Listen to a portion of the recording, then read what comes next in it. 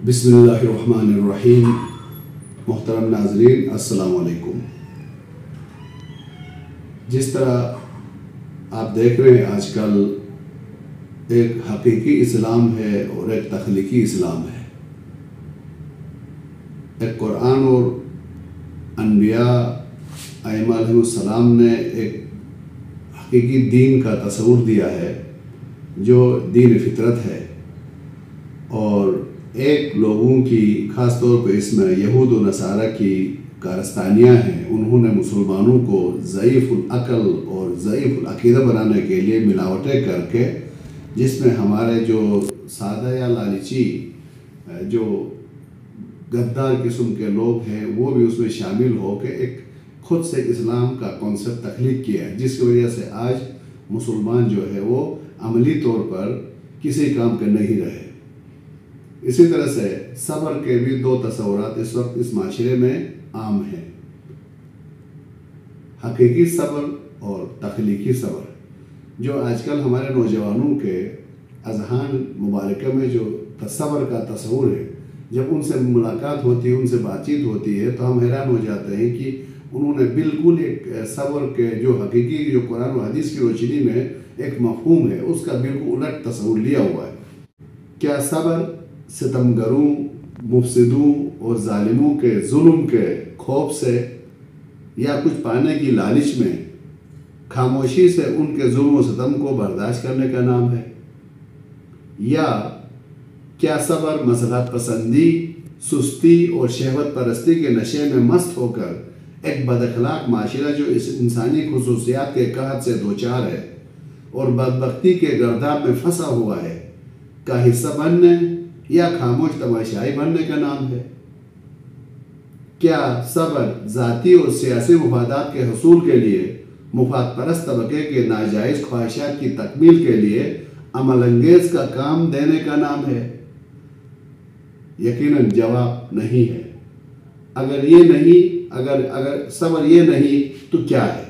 आए दोस्तों, कुरान और हदीस की रोशनी में मुफक्रीन की रोशनी में रवायात मासूमी की रोशनी में देखते हैं कि सबर का हकीकी तस्वुर क्या है। सबर एक ऐसी कुत का नाम है, जो बड़ी से बड़ी मुश्किल को दूर करने के साथ साथ एक सिया बख्त माशरे में खुशहाली और खुशकस्मती का सफ़र शुरू करने में अहम किरदार अदा करता है।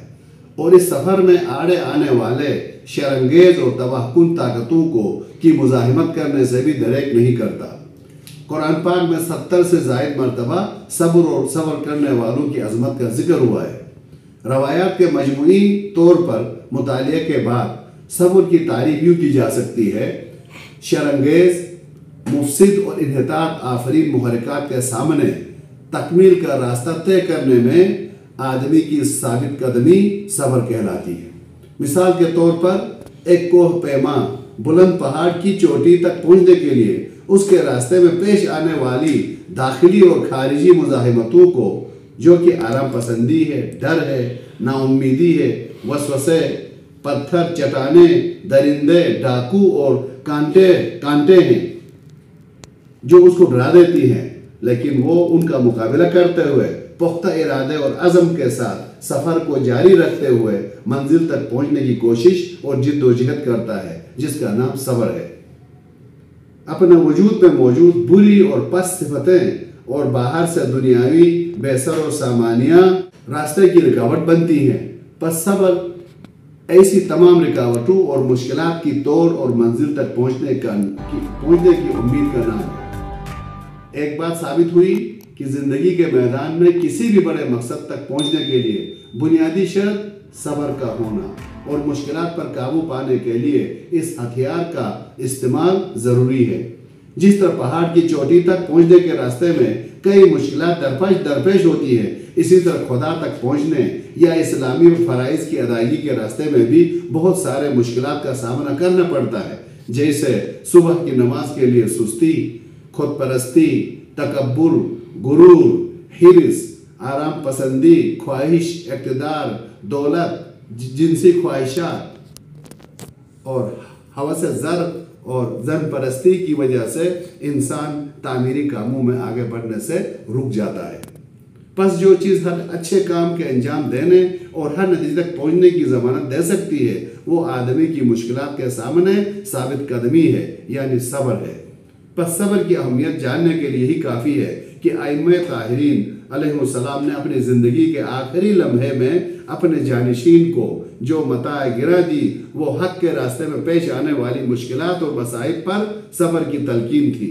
जिसकी मिसाल यह है कि करबला की खूनी फजा में मौला हुसैन दुश्मन के नरगे में थे, जख्मों से चूर चूर थे उस वक्त भी वो दुश्मन पर हमला करने से पहले खैमू की तरफ़ आते हैं और अपने बेटे इमाम जैन सलाम को अपने सीने से चिमटा कर फरमाते हैं, मेरे लख्त जिगर, मैं तुझे वसीयत करता हूँ कि हक पर कायम रहना और सब्र करना ख्वाब व तलक और नागवार ही हो। यानी राह हक में रुकावटों से न डरना मुतरद न होना। जब ये पता चल जाए कि ये राह हक है तो फिर इस पर गामजन हो जाना। ये न देखना कि मौत आप पे आ गिरती है या आप मौत पर गिर जाते हो।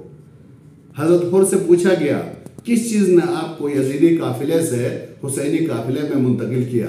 तो आप फरमाते हैं, मैंने देखा, हुसैन सलाम अपने तमाम नौजवानों को की शहादतों के अंदर खुद भी जख्मी हालत में शहादतों ने मौला का कमर कमज़ोर किया हुआ है। लेकिन इसके बावजूद जख्मी हालत में मैदान कारजार में खड़े हैं जुरत के साथ, एतमाद के साथ। और इमाम सलाम के चेहरे से एक रोशनी नमूदार थी, एक कॉन्फिडेंस था।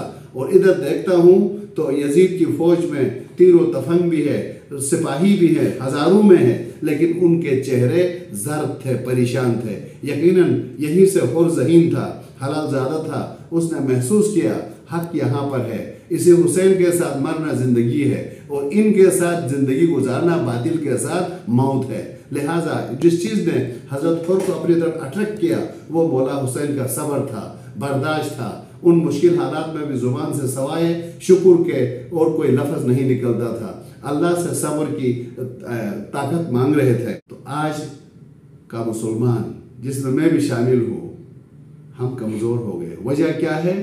हमने सब्र और जहाद के मफहूम को उल्टा लिया है। किसी को पता ही नहीं है कि सब्र क्या है, जहाद क्या है, और जिन्होंने ये मान मान लिया है तो यहूद नसारा से लिया है मुनाफिकों से लिया है।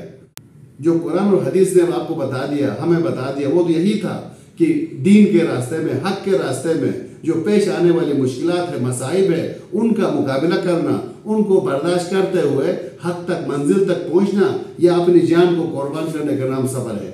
लेकिन आज हमने दहशत गर्दी को जहाद करार दिया है, बेगैरती को सबर करार दिया है। कहीं कुछ लोग, ये जो लोगों की दी हुई जो जो यहूद नसारा की दी हुई गलत सोच लेकर छोटी छोटी बातों पर एक दूसरे को तह तय कर रहे हैं। दहशत गर्दी का शिकार है। खुद भी बेमौत मर रहे हैं, दूसरों को बेमौत मार रहे हैं। ये कोई, इसका कोई जहाद के साथ ताल्लुक नहीं है। जहाद एक सेल्फ डिफेंस का नाम है। अपने आप को बुराइयों से, कमजोरियों से रोकने का नाम है। माशरे को बुराइयों से बचाने का नाम जहाद है।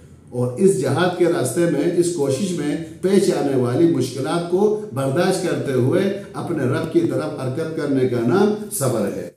एक शायर ने खूबसूरत अंदाज से हमारी आजकल के मुसलमानों की एक जो हालत है, उसकी अक्कासी की है। सबर खुददारी दिलेरी हक परस्ती अब कहाँ? रख दिया अच्छा सा एक नाम, फिर मुसलमान हो गए। वो कौम थी जो सौ, दो सौ लोग बदर में कितने थे? तीन सौ लोगों ने तीस हज़ार गलबा पाया था। और कुरान भी कहता है, अगर तुम में से सिर्फ़ बीस साबिर पैदा हो तो दो सौ लोगों पर गालिब होंगे। और अगर सौ आदमी साबिर हों, जो कुरान ने जो सबर का मफहूम दिया, उस सबर पर उतरते हो तो हज़ार पर गालिब आएँगे। आज चौदह ममालिक के अफवाज मिल के भी इसराइल का एक बाल भीगा नहीं कर सकते हैं। उल्टा अपने ही गरीब मुसलमानों के ऊपर हमलावर हो रहे हैं। ये क्या जहाज़ जहाद है? क्या यह सबर है? नहीं, ये ये यहूद नसारा की दी हुई सबर के रास्ते पर कायम है। हुआ है कि हम सबको हकीकी मानों में सबर और जहाद का तस्वूर को समझने और उस पर अमल करने की तोफ़ी दो। वसलम वरहमल